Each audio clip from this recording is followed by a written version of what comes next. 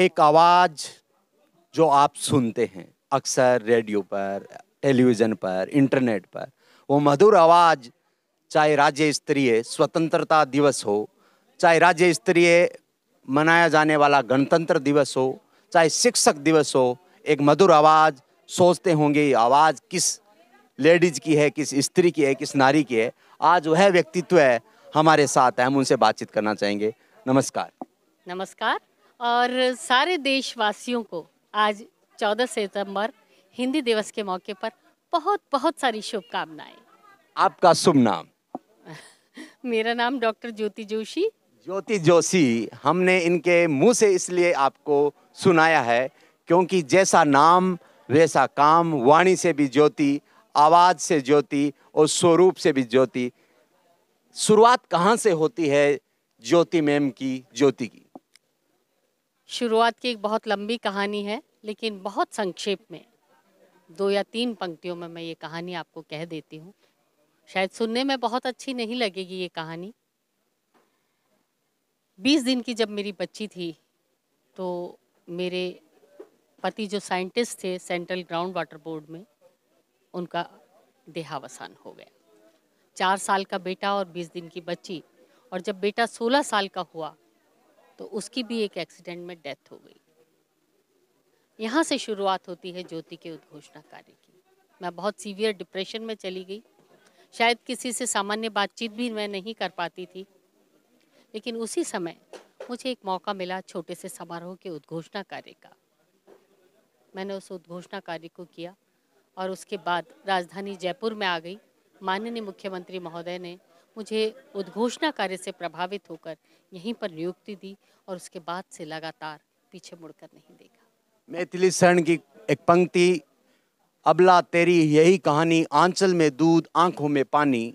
जीवन का वह संघर्ष, बच्ची बीस दिन की और बच्ची के साय से पिता का हाथ उड़ जाना और एक पत्नी का पति दूर चला जाना चिर स्थायी विछो हो जाना और उसके बाद एक ऐसी आवाज़, बुलंद आवाज़ जो केवल राजस्थान में नहीं, पूरे भारतवर्ष में गूंज रही है। वास्तव में परिस्थितियाँ व्यक्ति की कुछ भी हो, अगर संघर्ष की आवाज़ ताकतवर है तो आपकी आवाज़ को कोई नहीं दबा सकता। शिक्षा कहाँ पर हुई आपकी? मेरी शिक्षा मध्य प्रदेश में हुई। मैंने प्राणी शास्त्र में, जूलॉजी जिसे कहते हैं, उसमें मैंने एमएससी किया। और मैं एक साधारण गृहिणी की तरह थी, लेकिन पति की मृत्यु के बाद फिर मुझे लगा कि मुझे और आगे कुछ करना है। उसके बाद मैंने ह्यूमन राइट्स मानवाधिकार में फिर स्नातकोत्तर की डिग्री ली। उसके बाद मेरा जी नहीं भरा, मुझे लगा कि मुझे पीएचडी करनी है। तो मैंने समाज शास्त्र में प्राइवेट कैंडिडेट होते हुए फिर स्नातकोत्तर किया और उसमें मैंने यूनिवर्सिटी टॉप किया गोल्ड मेडल लिया और उसके बाद मैंने पीएचडी की उपाधि ली। राजस्थान से जुड़ाव कब से है? जन्म आपका मध्य प्रदेश में हुआ। राजस्थान कब आए? जन्म मध्य प्रदेश में नहीं हुआ। मेरी पढ़ाई लिखाई मध्य प्रदेश में हुई। मेरी परवरिश वहाँ हुई क्योंकि मेरे पिताजी वहाँ पर वनस्पति शास्त्र के प्रोफेसर थे और उसके बाद विवाह यहाँ राजस्थान में हुआ। विवाह मेरा राजस्थानी के बहुत जाने माने वरिष्ठ साहित्यकार डॉक्टर नेम नारायण जोशी जो सुखाड़िया विश्वविद्यालय में राजस्थानी के विभागाध्यक्ष रहे। आ, मैं उनकी इकलौती पुत्र वधु हूँ रही हूँ। इस वक्त वो दुनिया में नहीं है लेकिन ऐसे परिवार में मेरा विवाह हुआ और उसके बाद राजस्थान से जुड़ाव अपनी मिट्टी से जुड़ाव तो होता ही उद्घोषिका के रूप में हिंदी भाषा का चयन और हिंदी भाषा में पूर्णतया लगभग हिंदी का चयन कैसे प्रबंध कर पाते हो इन शब्दों का? मुझे शुरू से ही हिंदी बहुत प्यारी भाषा लगती है। और जब उद्घोषणा कार्य जब मैं हिंदी में करती हूँ तो एक आत्मिक सुकून, एक आत्मिक शांति का अनुभव होता है। शायद ये जानकर आपको बहुत आश्चर्य होगा कि कॉमनवेल्थ में भी मैंने उद्घोषणा कार्य किया। कॉमनवेल्थ में आपने उद्घोषणा की हिंदी में पूर्ण दिया। बहुत बड़ी उपलब्धि और आज हम ऐसे व्यक्तित्व से आपको मुलाकात करवा रहे हैं, रूबरू करवा रहे हैं, जिन्होंने कॉमनवेल्थ कॉमनवेल्थ से लेकर अंतर्राष्ट्रीय, राष्ट्रीय समारोह में भी शिरकत की है। ऐसा महाकवि जो प्रेरणा देता है। मुझे मीरा बाई से अच्छी कोई कवि लगते ही नहीं है। मीरा बाई ने जो आ, पद लिखे हैं क्योंकि मीरा एक नाम है सत्यता का। मेरा नाम है एक सफ़ेदी का। मेरा नाम है एक सच्चाई का। मेरा एक अपने आप में युग है। राजपूताने की ऐसी घराने की ऐसी बहू जिसने अपने बालों को खोलकर ये कहा तो कहो तो केश बिखरावा और कहो धारे केसरिया भेस। ऐसा राजपूताना की ऐसी रानी का ऐसा उद्घोष आज हम महिला सशक्तिकरण की बात करते हैं। तो उस शताब्दी में आ, हज़ारों लाखों महिलाओं के लिए क्या वो महिला सशक्तिकरण नहीं था? मतलब परिवार को छोड़ के अपने ईश्वर की कामना करना और उनके लिए संतों के साथ बैठकर भजन कीर्तन करना पंद्रहवीं शताब्दी में चौदह सौ अठानवे का जब दौर था और अब तो इक्कीसवीं सदी है आज भी घूंघट में रहती है हमारी बहू। आज आप देखिए कि आज लगभग 400 बच्चों को सम्मानित किया गया। जो बच्चे पूरे राजस्थान से कोने कोने से दरो दीवार लांग कर यहाँ पहुँचे थे, हिंदी में सौ में से सौ। शत प्रतिशत अंक उनके अभिभावक गण भी यहाँ मौजूद थे। इतने सारे बच्चों का जो वातावरण था, माननीय मुख्यमंत्री जी उनके साथ मौजूद थे। तो इन बच्चों को देखकर जो आपने कवि की बात की हमारे देश की कवियत्री सुभद्रा कुमारी चौहान जी। उनकी कई कविताएँ हैं। आपने भी सुनी होगी। चार पंक्तियाँ मैं सुनाती हूँ। इन बच्चों को देख देख कर मुझे बार बार याद आ रही थी कि बार बार आती है मुझको मधुर याद बचपन तेरी। गया, ले गया तू जीवन की सबसे मस्त खुशी मेरी। चिंता रहित खेलना खाना, वह फिरना निर्भय स्वच्छंद। कैसे भूला जा सकता है बचपन का अतुलित आनंद? बिल्कुल। सुभद्रा कुमारी चौहान, महादेवी वर्मा की सखी थी, सहेली थी और बहुत अच्छा काव्य उन्होंने हिंदी साहित्य को भेंट किया। आप इतने मन संचालन करते हैं बड़े बड़े राष्ट्रीय नेताओं के भी और कोरोना काल में भी आपकी प्रेस कॉन्फ्रेंस में आपकी आवाज़ सुनने को मिली। बहुत सारे संचालन मैं करती हूँ, लेकिन कुछ जो समारोह होते हैं, वो आपके बहुत दिल के करीब होते हैं।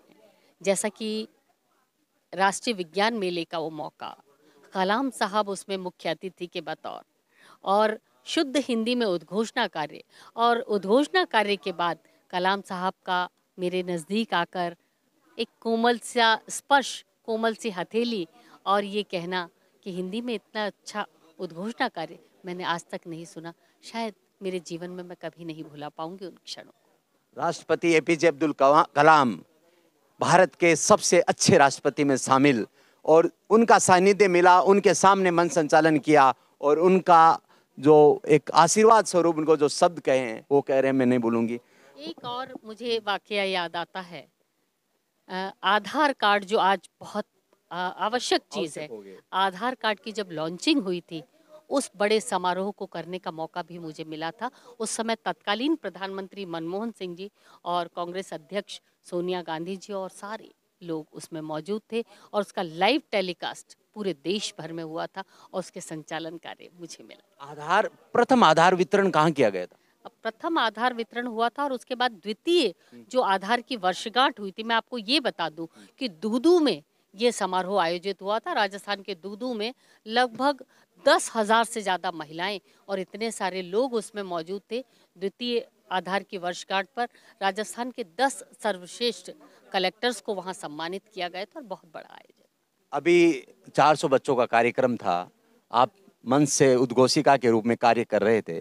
आपकी एक बात मुझे जो बहुत अच्छी लगी कि आपको आवश्यकता हो किस प्रकार इस क्षेत्र में आना है कैसे समझना है कैसे आगे बढ़ना है ये प्रेरणा देने का काम मैं बहुत कम लोगों को मैं देखता हूँ। क्योंकि अब अट्ठावन साल की मेरी उम्र हो चली है। पूरा जीवन हो गया पूरा जीवन समर्पित कर दिया। इस तरह के कार्यक्रमों को करने का। हर बार के उद्घोषणा कार्य से एक नया अनुभव मिलता है, नई जानकारी मिलती है। इन जानकारियों को, इन अनुभवों को मैंने संजोया है, लेकिन अब वक्त है उस नई पीढ़ी को ये ज़िम्मेदारी सौंपने का।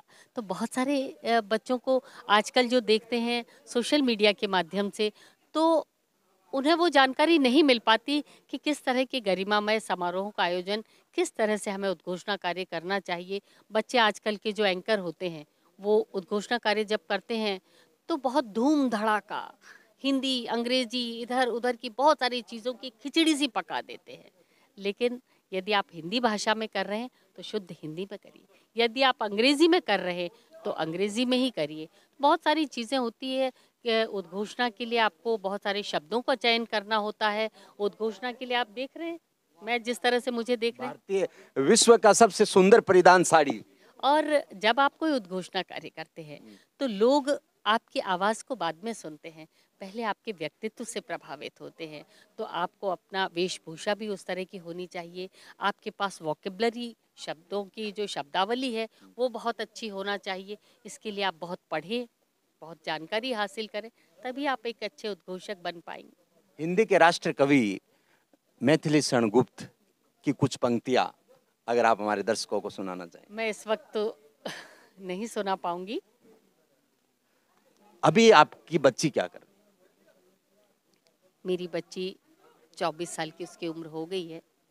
और मास कम्युनिकेशन में उसने ग्रेजुएशन किया और इंटीरियर में जो लोगों को घरोंदों को आशियानों को सजाने का काम होता है जो आजकल बिल्कुल ग्रीनरी का बहुत कॉन्सेप्ट है तो उसमें लैंडस्केपिंग का कार्य वो करती है, अपने प्रोजेक्ट के क्या आपके बच्चे भी आपके पद चिन्ह पर चलने का प्रयास कर रही है? क्या मंच उद्घोषिका के रूप में आपने उनको कुछ सिखाया है कि वो जहाँ भी जाए, अपनी ज़िम्मेदारी का निर्वहन करे? एक माँ का जो, माँ की जो ताकत है, माँ के जो संस्कार है, जो विरासत में जो एक कला है, ये कला ही नहीं है बहुत बड़ी कला कहूँगा मैं तो।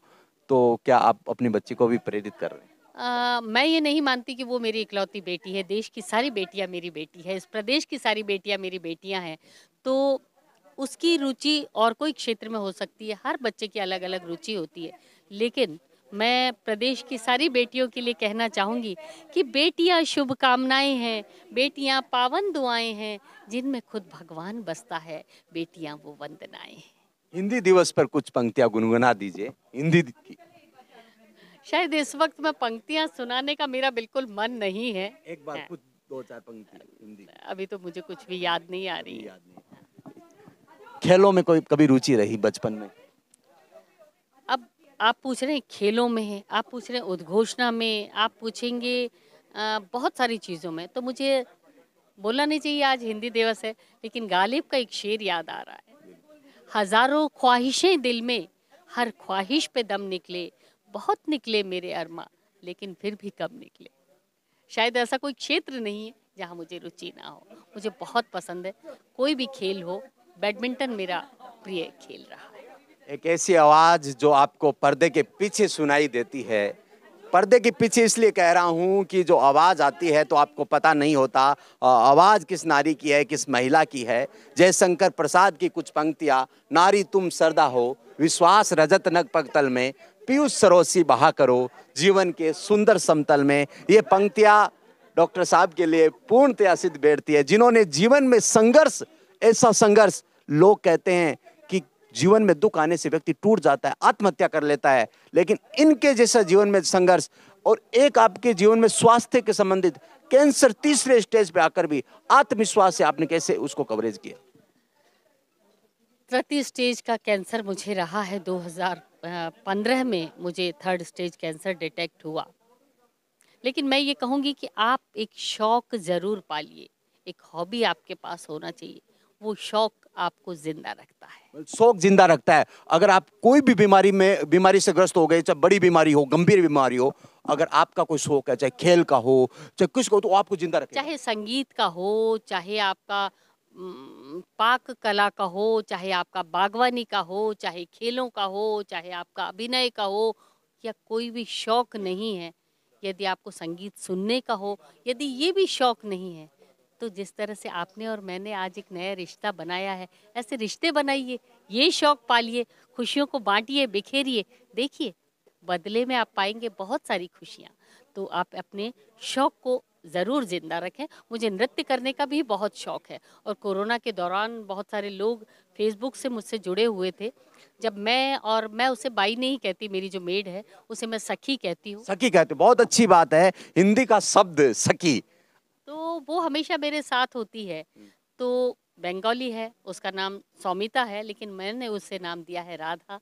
राधा हमेशा मेरे साथ होती थी और कोरोना के दौरान बहुत सारे नृत्य जब मैं उदास होती थी कोरोना में अकेले होते थे घरों में तो वो कहती थी आइए नृत्य करें। और वो वीडियो बनाती थी और जिस तरह से मैंने फेसबुक पर डाले लोगों की नृत्य करने के शौक फिर से ज़िंदा हो उठा। ऐसे ज़िंदा दिल व्यक्ति से ज़रूर जुड़िए ऐसे व्यक्तित्व से ज़रूर जुड़िए ऐसे संघर्ष के बाद। फेसबुक पर क्या आईडी नाम? फेसबुक पर आप देख सकते हैं ज्योति जोशी और ज्योति जोशी जयपुर आप डालेंगे उद्घोषिका के रूप में। बहुत सारे मेरे जो संचालन कार्य हैं वो सारे के सारे आपको फेसबुक पर मिल जाएँगे और जो लोग उद्घोषणा का शौक रखते हैं मंच संचालन का शौक रखते हैं शायद उसमें से कुछ उनको मिल जाए। बिल्कुल।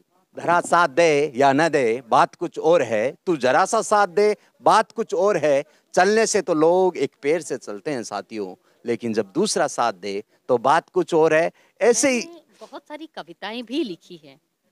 मैं आपको एक कविता ज़रूर आज यहाँ साझा बिल्कुल, बिल्कुल। मेरे साथी तुम जियो, मुझको भी जीने दो। मेरे साथी तुम जियो, मुझको भी जीने दो। मत भेदों के आँगन में मन भेदों की घास उभर आई। मत भेदों के आँगन में मन भेदों की घास उभर आई है। इसे छीलकर सह अस्तित्व की फुलवारी में प्रेम भाव का कुसुम खिलाकर जीवन की रंगीन बहारों में उड़ने दो। मेरे साथी तुम जियो, मुझको भी जीने दो। क्षण भंगुर जीवन की बूंदे। क्षण भंगुर जीवन की बूंदे तप्त तवे पर गिर उड़ने वाली। क्षण भंगुर जीवन की बूंदे तप्त तवे पर गिर उड़ने वाली हैं। इन्हें रोककर अपने उर की सीपी में तेरे मेरे अमिट संबंधों का मोती बनने दो। मेरे साथी तुम जियो मुझको भी जीने दो। तुम जियो मुझको भी जीने दो। जियो और जिनो दे, दे, और एक और कविता। उसको सुनाए बिना आज मैं नहीं बिल्कुल बिल्कुल। हम तो आपके शब्द सुनकर हम तो चाहते हैं कि हमारा साक्षात्कार 24 घंटे चले तो भी आपके शब्द भंडार में शब्द कम नहीं पड़ेंगे। इतने सारे बच्चे आज जो सम्मानित हुए हैं। आपने देखा होगा आज आजकल एक अलग ही दौर चल पड़ा है। अंग्रेज़ी मीडियम स्कूलें खुली है बहुत सारे बच्चे हैं।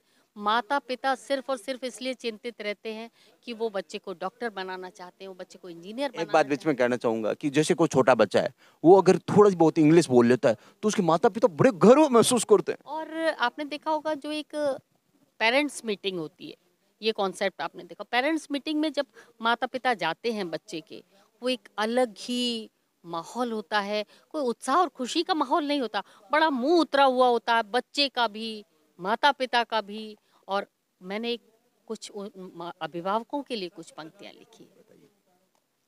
दस में से दस नहीं लाता मेरा बच्चा। दस में से दस नहीं लाता मेरा बच्चा।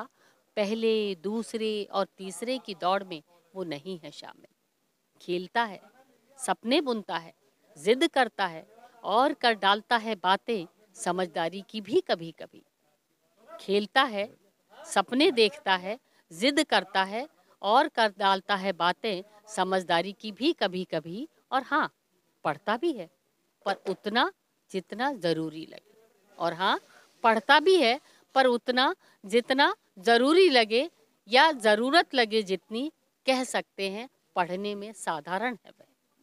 कह सकते हैं, पढ़ने में साधारण है वो, मैं नहीं जाती उसकी टेस्ट कॉपी देखने। इसलिए नहीं कि मुझे शिकायत है उससे। इसलिए नहीं कि मुझे शिकायत है उससे, बल्कि कोफ्त होती है मुझे। स्कूल की सीढ़ियों से उतरते, साथ नीचे घसीटते बच्चे को, इसके उसके अंक पूछते किसी के मम्मी या पापा को देखकर। कितने आए मैथ्स में? और कितने आए साइंस में? कितने आए मैथ्स में? और कितने साइंस में? सुन सुनकर तो लगता है कि तीन नंबर जो कट गए, वही सब कुछ थे शायद। सुन सुनकर तो लगता है कि तीन नंबर जो कट गए वही सब कुछ थे शायद। मुझे नहीं लगता अच्छा देखना। निर्जीव कॉपियों के पीछे बैठी टीचर। साथ में घिघियाते पालक। Nine nine and a half जैसी गला काट बातें करते पगले से पगलाए पालक। चंद्रदत्त शर्मा गुलेरी। मुझे नहीं लगता अच्छा। मुझे नहीं लगता अच्छा जाना उस कसाई खाने में। मुझे नहीं लगता अच्छा देखना स्कूल में सन्नाटा शमशान का। मुझे नहीं लगता अच्छा देखना। बच्चों की सिसकियाँ, रोते हुए बच्चे, आँखों से टपकती हुई आंसुओं की लड़ी, sorry mummy sorry mummy sorry mummy, अब की बार, अब की बार की हिचकियाँ। मुझे तो अच्छा लगता है देखना। गली के छोटे छोटे कुत्तों के पिल्लों के पीछे दौड़ता भागता, उन पर बलिहारी जाता बचपन। मुझे तो अच्छा लगता है देखना, चिड़ियों का अपने चूजों के मुँह में दाना डालती चिड़िया से प्यार सीखता बचपन। दीवारों पर आड़ी टेढ़ी लकीरें खींच अपने मन को उकेरता बचपन। बिल्कुल, आज की भाग दौड़ की दुनिया में, जिस पर बच्चों को टेक्नोलॉजी से जोड़ा गया, माँ के आंचल से दूर किया गया केवल अंकों के आधार पर बच्चों को प्यार किया जा रहा है। वास्तव में ये कविता जिन्होंने सुनाई है, अगर आप हृदय से सुनोगे तो निश्चित तौर से आपकी आँखों में आँसू बहेंगे। किसी कवि ने सच ही कहा है, भावना में भाव न हो तो भावना बेकार है, और भावना में भाव हो तो भाव से बेड़ा पार है। भावना होनी ज़रूरी है। बहुत बहुत धन्यवाद भैया। आपकी इस भावना के लिए, आपके इस प्यार के लिए, आप जो खुशियाँ बांट रहे हैं, बिखेर रहे हैं लोगों में, इसके लिए एक बार पुनः आपका हमारे साथ राजस्थान की भूमि से एक ऐसा व्यक्तित्व है, जिसकी आवाज़ चले जाएँगे ये छोड़कर हम, हमें, लेकिन गूंजती रहेगी इनकी किलकारियाँ। हमें प्रेरणा देते रहेंगे इनके शब्द, हमें प्रेरणा देती रहेगी इनकी मुस्कान। विपरीत परिस्थितियों में, विकट परिस्थितियों में, कठिन परिस्थितियों में, जिन परिस्थितियों में लोग फंदे को पकड़ लेते हैं, फंदे से झूल जाते हैं, ट्रेन के नीचे आ जाते हैं, उन परिस्थितियों में इन्होंने मजबूती के साथ केवल जीना ही नहीं सीखा है। जीना भी सिखाया है कि कैसे ज़िंदगी जीते हैं। एक पति को पति छोड़ के चले गए एक बच्चा छोड़ के चला गया फिर भी हार नहीं मानी। वक्त के साचे में तो सब डल जाते हैं साथियों। समानों को खंगाले तो बात बने एक नया कुर्सी निकाले तो बात बने। वक्त के सांचे में तो सब डल जाते हैं। वक्त के को अपने सांचे में डाले तो बात बने। मैं ये कहूँगी कि बुलंदियों पर पहुँचना कमाल नहीं होता। बुलंदियों पर ठहर बुलंदियों पर कम पहुँचना कमाल नहीं होता बुलंदियों पर ठहरना कमाल होता है। लेकिन मैं ये कहूँगी कि मैं जुगनू हूँ मुझे जुगनू ही रहने दो। चाँद तारे तो आँखों में खटक जाते हैं। बिल्कुल ये हमारे साथ डॉक्टर ज्योति मैम थे। बहुत बहुत आभार। हमारे चैनल की तरफ़ से इन्होंने इतना अमूल्य समय दिया और निश्चित तौर पे हम आपके उज्जवल भविष्य की और दीर्घायु की कामना करते हैं कि आपका प्रेम और आपका सानिध्य हमें हमेशा मिलता रहे। बहुत बहुत आशीर्वाद। Now, please like, share and subscribe and don't forget to